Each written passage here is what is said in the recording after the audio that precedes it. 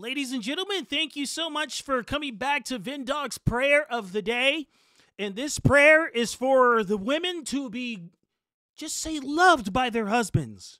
Because I see a lot of things where husbands are not loving their wives and they're loving other things. And we need to get away from that nonsense. Love your families, love your wives, cherish them, husbands.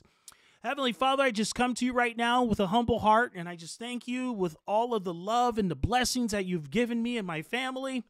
I pray, Lord, that you just get a hold of men's hearts right now, Lord, and just have them to edify their wives the way that they should be. Treat their wives like princesses, Lord. Treat them like queens as they're well deserving of, Lord.